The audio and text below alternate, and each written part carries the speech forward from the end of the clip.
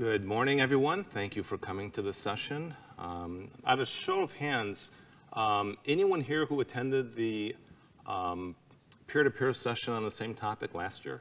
I know one person was. How am I doing? No? I can talk to that one. Can everyone hear me okay and back? All right, well, as everyone knows in the news, um, the coronavirus is a big topic right now. And before we conclude here today, you're going to see how news events such as the coronavirus may actually help support a program like this. You might say, well, what does a virus have to do with international travel with laptops and mobile devices?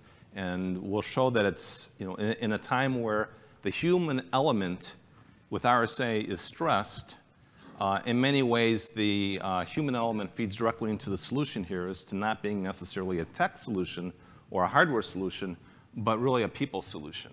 And uh, I'm really looking forward to hearing some of your feedback on that. Um, let's start, well, my name is Brian. I'm with the University of California Office of the President. We're in the compliance role for, the, for a, a system that includes 10 camp, 10 flagship campuses, six academic medical centers, um, different roles within three different national labs, and a, a, mobile community, including faculty who give presentations around the world. We have research programs all around the world.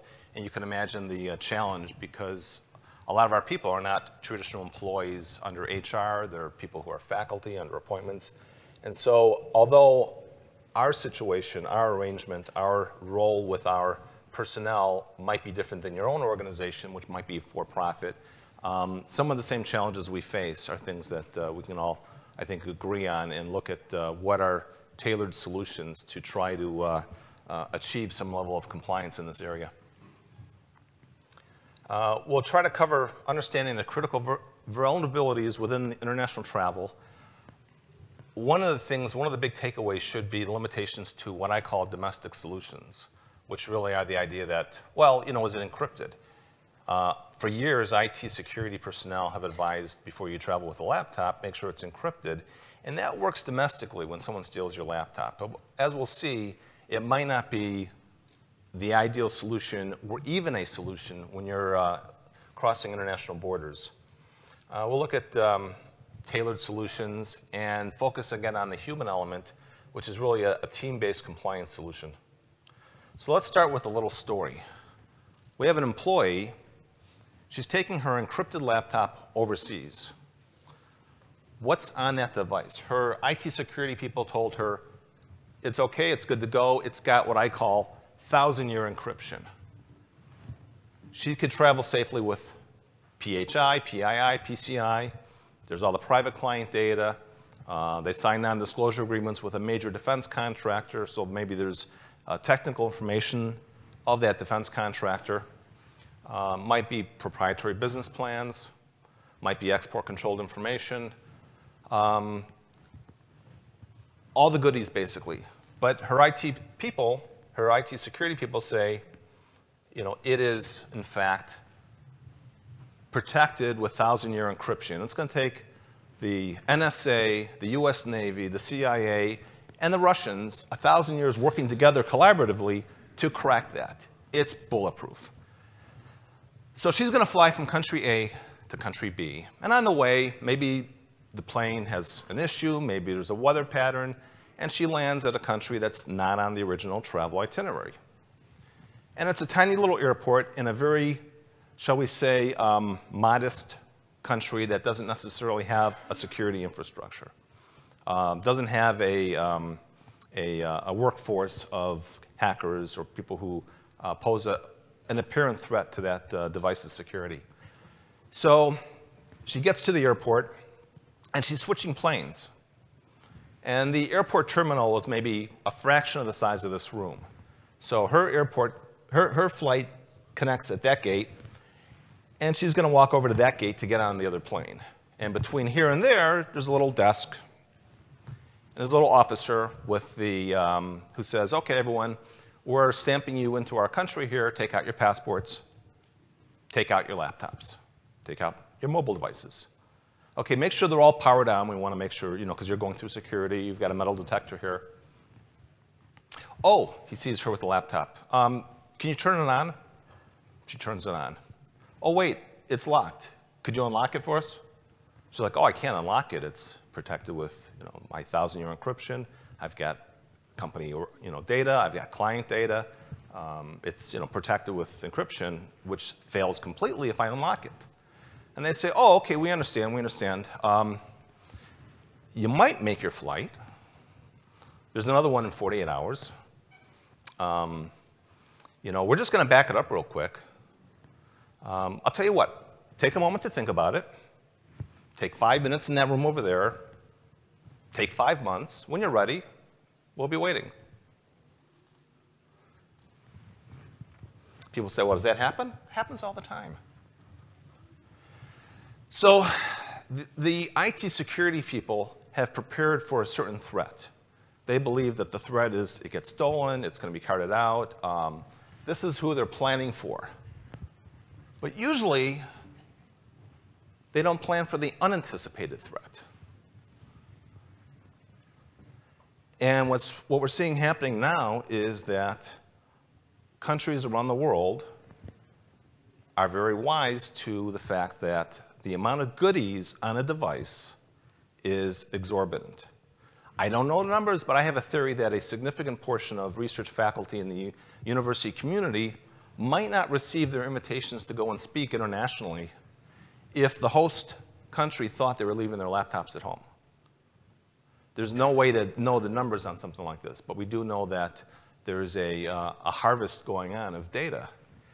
And, and ask yourself, from, think about your organization and think about how your organization would react if that scenario played out and all that data was backed up on there.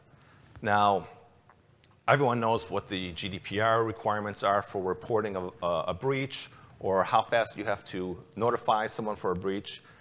A lot of people don't necessarily consider that a breach. So let's cover maybe three quick case studies. Um, Steve, the IT professional, visits China. This is based on a real story.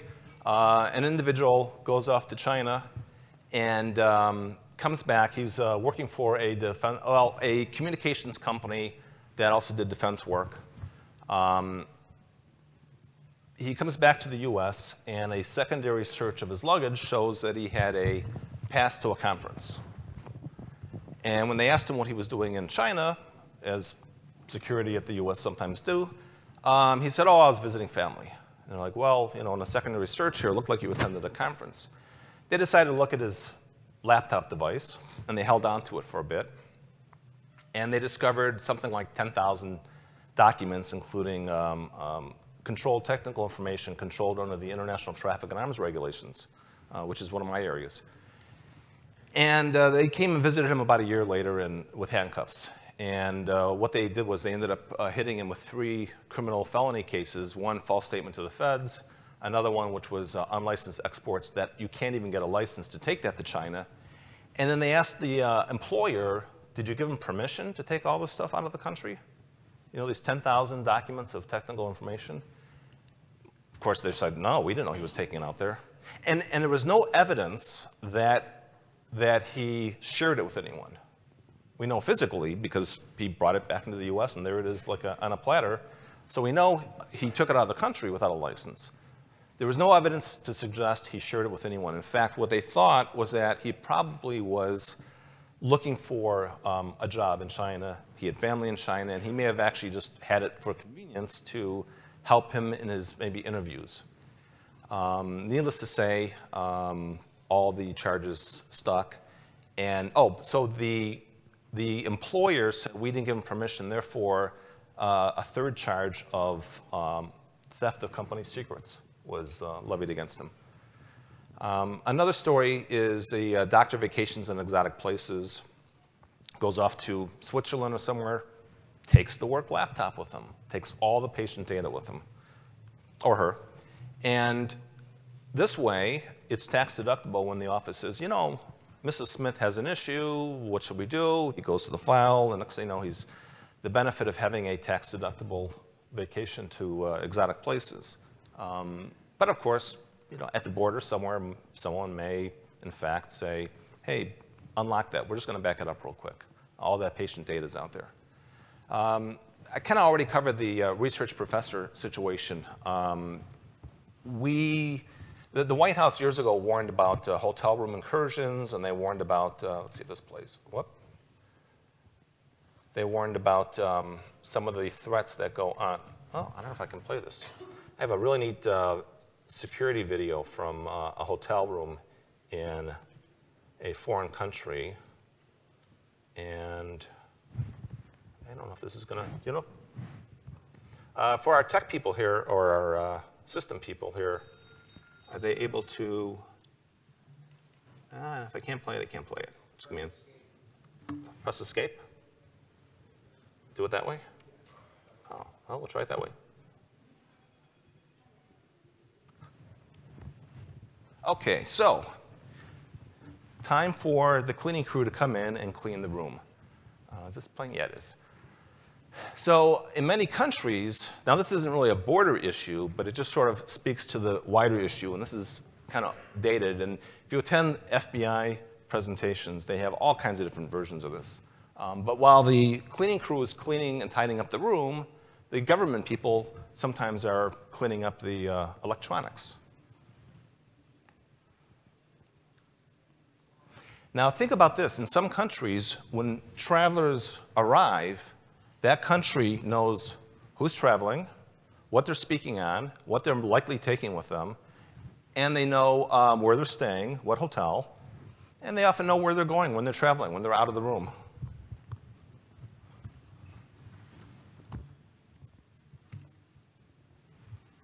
Let's see if we can get this to play again. Are we back? No, we're not back.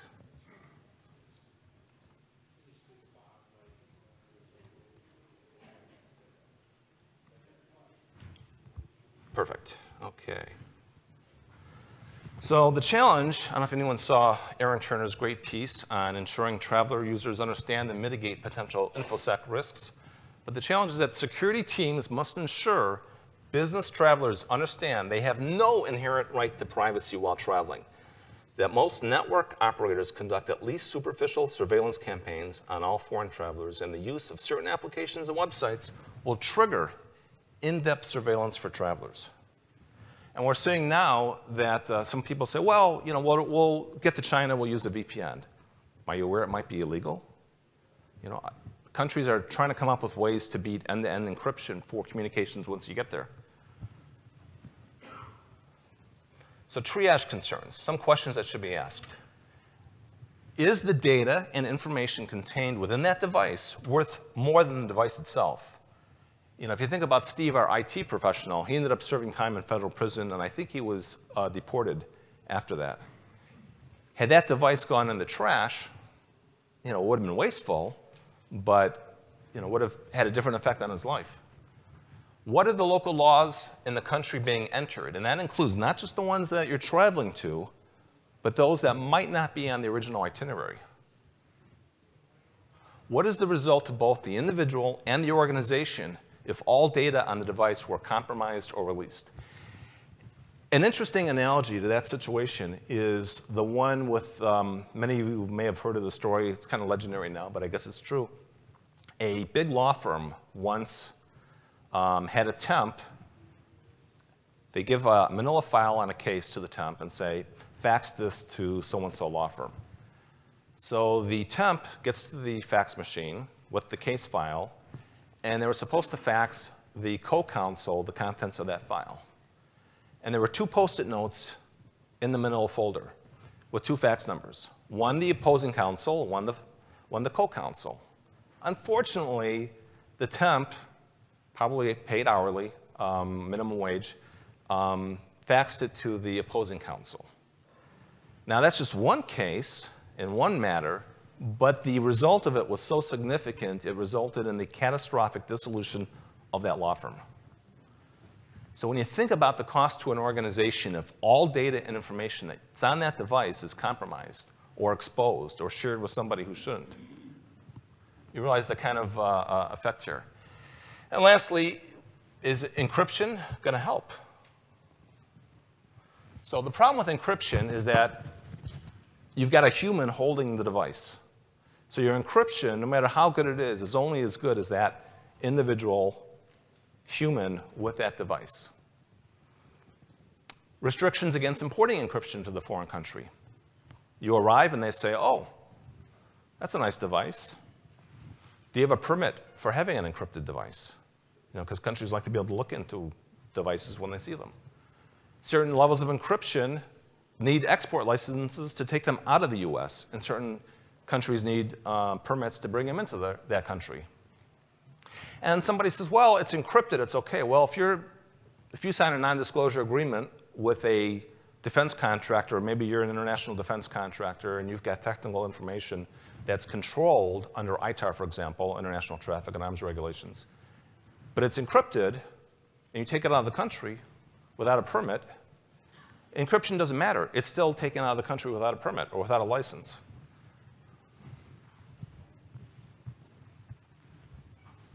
So a few international case studies. Uh, without getting into this, because the laws really change all the time, and oftentimes the laws in the books are different than what happens at the actual uh, gate, a few interesting cases. Um, the first three countries listed there are considered pretty friendly. You wouldn't necessarily think of them as being those that should be on your watch list. And yet, sometimes interesting stories happen in countries that you wouldn't expect. So for example, the UK uh, Heathrow Airport, for example, has a reputation for being one of the most aggressive at um, accessing people's devices when they travel. Um, and, and, certainly the nature of the airport, if you've gone there, oftentimes uh, switching planes means you have to go from one terminal to another, often by bus, and go right back through security. So the fact that you're switching planes at one airport does not negate the fact that you might be going through security again. Uh, Australia, I believe the rules have changed, and they're also very uh, aggressively looking at uh, end-to-end encryption for communications. But a few years back, uh, it came to light that if somebody was traveling with intimate photos of a significant other for whatever reason, no judging, um, it was not illegal to bring that into Australia. But you had to declare it. Uh, Canada, there was an American citizen, US uh, person, entering Canada with a laptop that had manga cartoons on their device. And uh, the scenes were, uh, uh, that were depict depicted were considered um, possibly of a moral questionable character, and that person was facing a one-year penalty for uh, the equivalent of um, child pornography. And when you think about artwork and cartoons, political cartoons seem like they might be fun, if you're on your device, certain countries' political cartoons can get you in a lot of trouble. Uh, Russia, China, Cuba, and Iran, a couple of interesting points to make to really illustrate the challenges here. For example, you can attend a conference in Cuba, no problem. It's one of the 14 listed uh, activities that's permitted right now for travel to Cuba. Um, but you can't vacation there you can vacation in Iran. I, am speaking of US laws and regulations. Each country has its own, and you have to be aware of that as well. But just as an example, uh, under US law, you can um, vacation in Iran, but you can't attend the conference because it might be viewed as a service without an OFAC license, the Office of Foreign Asset Controls. And of course, China is one where they really know what's coming in and what they have to do to get their hands on it. Uh, the FBI used to say that if your device is out of your hands at the airport in China more than 90 seconds, assume it's compromised. I, I, think that if you're walking in thinking, I hope they don't take a look at this, I think you've already lost that, uh, that battle. And at some point during that visit, that data will probably be compromised, which means you have to plan for it. So how do you develop the perfect risk-based laptop travel program tailored for your unique organization? Well, the short answer is one, there really isn't anything that's going to be perfect, so it's balancing risk and trying to determine and try to bring the right people together to, to solve that, but also to know how you're going to solve it, why you're going to solve it. Ideally, many of you here probably don't need to think about a risk assessment, but many of your, your um, organizational peers might. And oftentimes, the best way to jumpstart that process, if, if it isn't already at the top of the list, is with a risk assessment. So I, I kind of left that slide off of here, but you know, once you're past the point where you realize you have a need that has to be addressed, uh, forming a cross-functional compliance team. It's not an IT problem. You know, we, we have a, a, saying with our risk department at the University of California that risk isn't one person's issue, it's everyone. You know, we're all risk officers. A cross-functional compliance team that has the people necessary to, to come together to help make this program work. You have to identify the highest risks, which is your risk assessment, mitigate with, some of you may have heard of the seven elements of an effective compliance program. Um, it actually comes out of the US federal sentencing guidelines uh, and is actually sort of a worldwide method now of compliance, which uh, basically says, the short version is that the two biggest mitigating factors against organizational wrongdoing, and this is under section 8b 2.1, uh, the two mitigating factors are one, an effective compliance program, not just compliance that performs CYA compliance, has to actually have certain key elements, but also the ability to do self-disclosures as need be, to cooperate, to really look for the right answers. And the ability to monitor and adjust as laws and risks evolve. Somebody said to me, well, are you going to be covering, you know, which law are you going to be covering today? Well, the thing is, the laws that exist today might not be the same tomorrow. Any good program is going to be able to evolve as the risks change. So who should be on your compliance team? This is one suggestion. There's no hard and fast rule. Large organizations are different than small organizations, and it depends on the nature of your risk. But as a, as a starting point, if you actually had a group that met on a regular basis and came together, you know, you've got cybersecurity and IT, but where's legal on this? Where's the sales and service people? You know, who's, who's shipping things internationally? I mean, all these parties have a role to play in terms of um, a voice that should be heard, a, a level of documentation to record decisions that are made, and ultimately, no matter what your perfect solution is, if there is a problem, if, if you're not bulletproof, and one day there is a problem, what are you going to fall back on to protect the organization? And having a proper compliance program, a compliance team, is a great mitigating factor you know, if, if the temp faxes that folder to the wrong, um, to the wrong organization. Um, the seven elements of an effective compliance program, some people say there's 10 elements, some people say there's um, eight elements. Uh, some people include risk assessments. Generally speaking, for most, there's um, one of the key things that when you came into this room, you probably were not thinking about, but everyone here should be thinking about, are documented policies and procedures. If you have a documented international travel laptop mobile device program and policy, I mean, even if you offer travel laptops, but you have no policy, when somebody doesn't take advantage of that and they don't use it and you have a problem, and you're dealing with a foreign government or you're dealing with uh, um, uh, one of your clients, and you say, well, we have a small p procedures, small p policy, but we don't actually have a documented policy. Think how different it is if you say, well, we actually had a formal policy. We made sure everyone knew about it. We offered training on that. We offered solutions to support that. We have parties that own that policy. And somewhere, someone failed to do that. So it, it it's sort of like the, the throw the individual under the bus way to protect the organization, which is unfortunate. But sometimes that policy and procedure saves the organization. If you don't have that policy and procedure, then really anyone in the organization at the top is responsible. Uh, training, oversight, communication. Uh, a lot of people look at re response and prevention. You know, if there is a problem, if you have to triage something, you know, you just just discovered that one of your um, one of your salespeople is in a cafe in Paris, and they connected to the internet, and they just downloaded controlled technical information at this cafe, um, overlooking the uh, Seine, and you have people who are a team that you can come together, okay, what do we do about this? How are we going to fix this? What steps need to be taken? Um, having that team approach gives you something to be able to have a response and prevention that is, you know, if you have to come clean, if you have to disclose to, you know, uh, per GDPR or something else, um, you've got something to rely on. And ultimately, enforcement and discipline. Somebody didn't follow the policy, they caused a breach. Do we have internally our own mechanism for, for enforcement and discipline.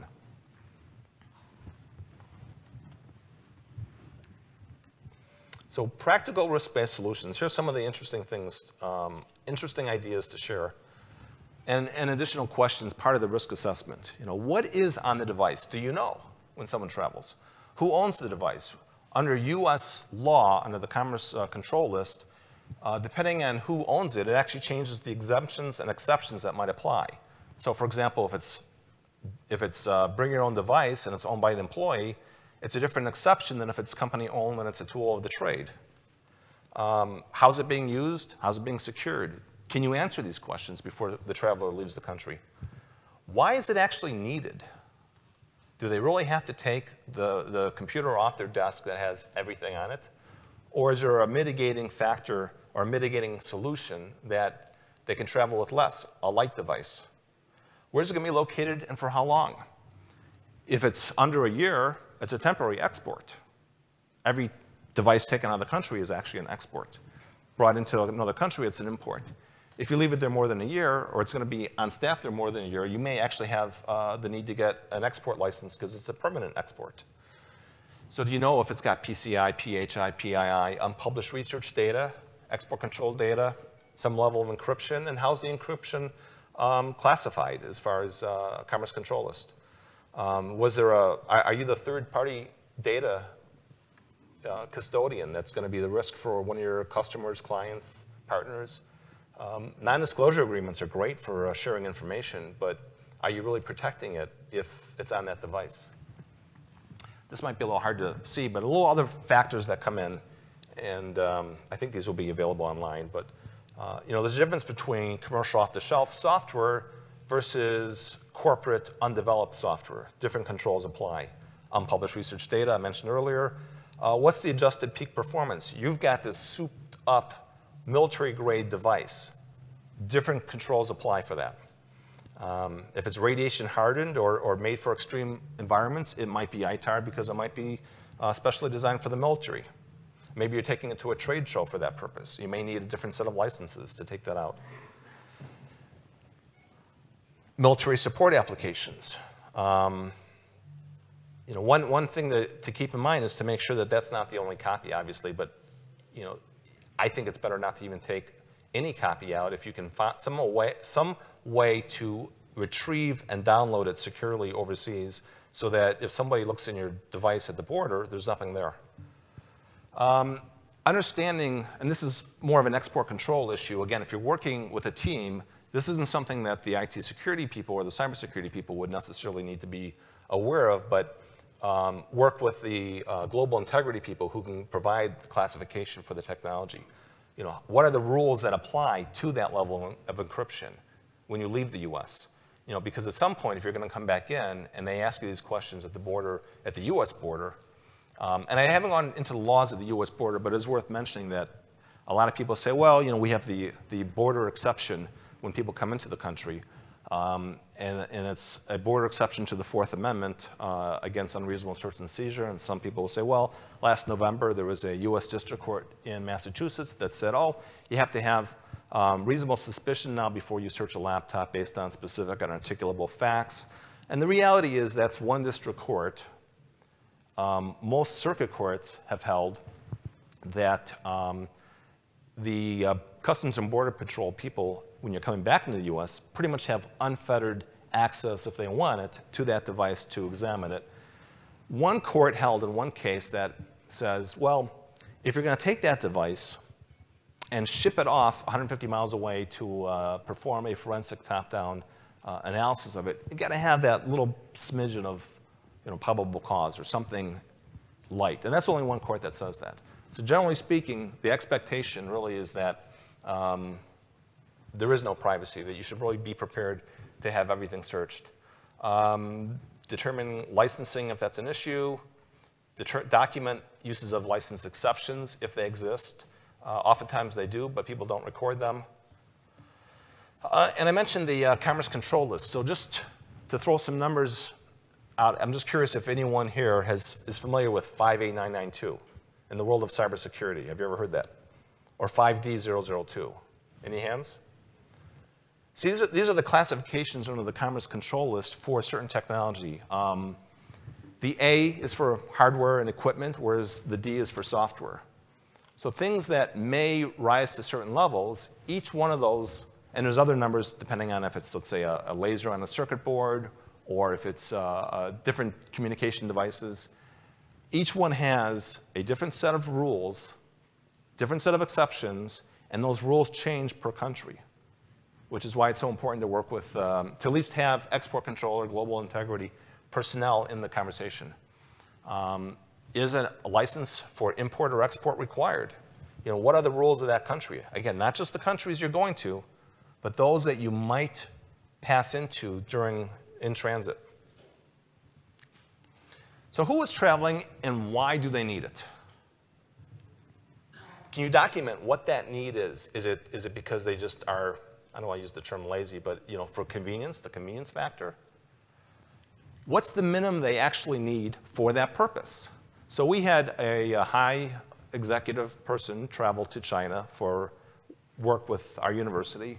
Um, and what was done for that person was um, they figured out what the need was. They took, they traveled with a light iPad.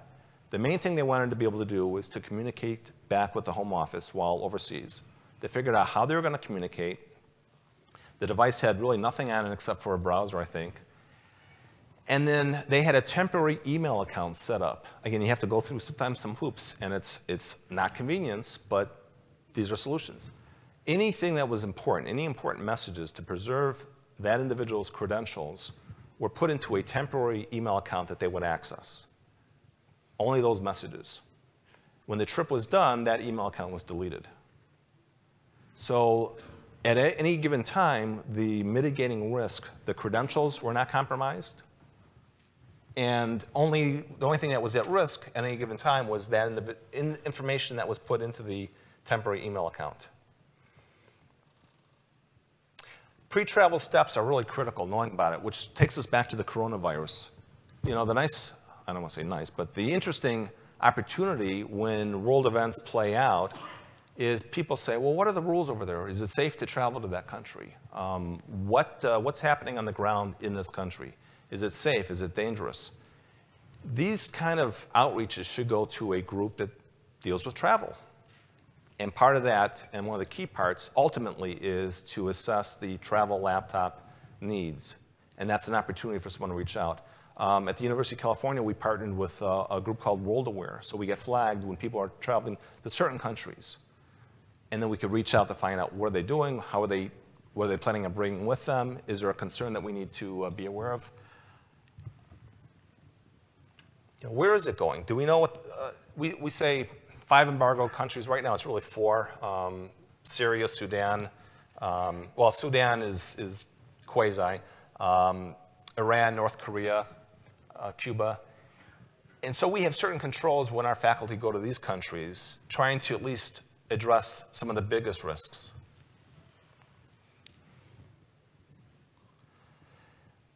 Before someone goes, a pre-travel brief, briefing is really one of the best risk assessments. And anything that you can do to sort of bring travelers, you know, the, the greatest travel laptop program fails if no one uses it. And events like what's happening in the world, world crises, health crises, finding out when they're traveling. These are all opportunities for outreach to connect with the travelers before they travel. Survey what is it they're going for, what are they bringing with them, what are they going to be doing over there. Is there any notice that we want to be able to document that we inform them of certain facts and we want to keep a record of it? So if they, they take something that they shouldn't have, at least the organization can protect itself that they were told and they chose maybe not to follow this uh, advice. Uh, going to Cuba, we don't really need Cuba letters anymore, but we used to um, regularly create a letter that basically said that uh, just in case someone at the US border says, well, what, are you doing there? And we would have something saying that the organization knows the traveler is traveling. It's for a, a proper purpose. We've documented that. And it's always better to have that and not need it than to need it and not have it. And to go through the process of making sure you know what they're traveling with and why. A bulletproof program fails if no one uses it. organizations provide solutions and it results in travelers reaching out in advance with questions. This is such a great opportunity when this happens. You always want to find out about something before they travel to plan accordingly as opposed to they're overseas right now and they've got a problem with their device. Awareness sometimes begin, begin with non-technical questions. Um, some creative solutions to try to get outreach is even something like, oh, here's photo tips for when you travel internationally. If you have a travel group, a travel compliance program, think about other things you can offer in a large organization to get people to um, reach out. You know, here's health tips for traveling internationally. Here's, here's uh, uh, how to save money when you stay in a, an international hotel. Uh, a big one that I found very effective is here's how to connect online and avoid hot, um, uh, dark hotspots, dark hotels when you travel internationally. Things that bring people to, um, bring travelers to connect ahead of time. You know, there's benefits to inconvenience. One of the great things about uh, Linux and Chromebooks and things is they're inconvenient. They require training. That's not a bad thing. That's actually a good thing. Giving someone a device that is too much like what they're using now um, doesn't force them to come in and listen to all the things that they don't want to hear. You know, if all they have, if all they have to do is grab it and run, um, that message might not get across. And of course, with some OSs, you know, if you're using maybe even uh, the Berkeley software distribution, you know, the more obscure and the more training required, sometimes there's you know, at least a minimum level of security through obscurity.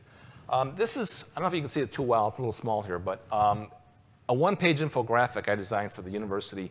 Other schools are using it. This one's actually from Vanderbilt. And the idea was to try to come up with a way in one sheet to flag all the things that a traveler needs to know before they travel. So you get the big questions, you know, what is on it? Who's traveling? Why? Where are you going? And then usually at the bottom, you'd have all the connect, all, and, and if anyone wants a copy of these, um, let me know, um, contact me and I'll send them to you. Uh, you're free to, uh, to uh, adapt this. In fact, I'm really curious to see if anyone comes up with a better way to present this information. But the idea is pre-travel checklist. Let's connect with the traveler before they leave so that we can plan accordingly. Again, we're not going to make it bulletproof, but we just want to try to minimize that. And to see if, you know, what is it they need to have? Can, you, can they travel with only a minimum file or two on that device? And if they're going to use the cloud, you know, can, can a, is a VPN available? Can they have a virtual desktop? Is it secure? What is the level of risk? We don't want to expose the credentials of the organization are there alternative mitigating steps we can take? Uh, I think the cloud, especially if you, can, if you can do what you want to do while you're on a plane, whether you're online or not, and then be secure when you're actually in that country. And is there a way when you cross the borders of that country that there's nothing, you know, if, if border security says unlock it and there's nothing there, that's the best case scenario. Additional considerations, I want to um, mention briefly uh, the third bullet point there, poison pills. So last year at the um, at the um, peer-to-peer session, we had a gentleman uh, present. I don't know if he's here. This is a great story. Um, he, I believe, may have been at one time former East Bloc intelligence, maybe. And uh, he was very familiar with thinking through this entire process. Now, he was working for some family in the Middle East, and I hope well compensated. Um, and what he would do is he would travel with a special encrypted device. It had all the goodies on it, I guess, it was encrypted, and there was two unlock codes. And correct me if I get this uh, in any way incorrect. So to arrive safely at his destination, he receives independently the proper unlock code. If he has a situation that we covered at the beginning, where it's a forced decryption, he uses the code he's traveling with, which is really a poison pill that basically wipes out and destroys everything on the device. The good news is, there's good news and bad news with that approach. Uh, the good news is um, the device information safe. The people who are demanding to back up whatever's on there, they're not going to get it. The not so good news is that there's still a human now in custody. and hopefully, as I say, hopefully there's uh, you know, a good amount of compensation there. Other things, uh, you know, that's kind of a, an extreme approach, but at least he had thought through ahead of time and knew what the risks were. Um, privacy screens, using a, a, USB OS to boot up, um, using your own jetpack or hotspot or even your phone. And I haven't even gotten into the whole issue of, of phones. And we used to say, well, make sure you, you remove batteries and camera covers um, before you, um, or, or, put on a camera cover before entering a, a, meeting, let's say overseas. And of course, nowadays, you, you, know, battery removal might not be an option. So maybe travel with uh, a device that you can do that, especially with uh, um, travel phones. Uh, so as far as takeaways, you know, if you were coming here hoping for a, a, a, new tech solution, and the expo is full of all kinds of companies with a lot of interesting ideas, um, things change. A compliance program really is a human program. The takeaways really are understanding the limitations of what, of what might be perceived as a, um, the traditional solution of encryption, which really might work. You know, if someone breaks into your car here and steals a device, and it's encrypted, great. You should be okay. But when you travel internationally, international borders have different rules. Know what you're traveling with. Um, only take with you that which you can afford to expose and lose. Know all the risks. Have a tailored solution based on the unique situation of that traveler and that organization and their risk tolerance. And be prepared to answer the question if everything on that device is made public or exposed you know, what, what, is the, what are the consequences? Um, little building blocks here for a program. Again, starting with a risk assessment, follow um, the seven elements of a, a, compliance program, an effective compliance program, identify the risks, mitigating uh, strategies, develop a risk-based structure with a team, a team approach, cross-functional, and balance the compli compliance goals with the operational needs. Ultimately, at the end of the day, the, the challenge is not to affect the day in, day out running of the business, whatever that business is of that organization. The goal is ultimately to support the travelers and what they need, but to do it in a way that's compliant. And if anyone has any thoughts, or, or maybe um, Dan, you had something you wanted to possibly share of how your organization addresses some of these? Yeah, please. Please feel free to this one is hot. We've got a guest speaker. Hi.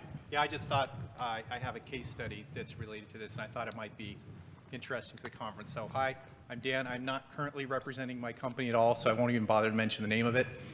Um, but uh, I work in our SOC, so I was coming at this issue from a detection and response side. And so and a technical side. We um, have a policy that uh, laptops, phones, including company assets and bring your own devices are not allowed to go to a certain set of restricted uh, countries. And, that, and that's and, a written published policy that's disseminated widely?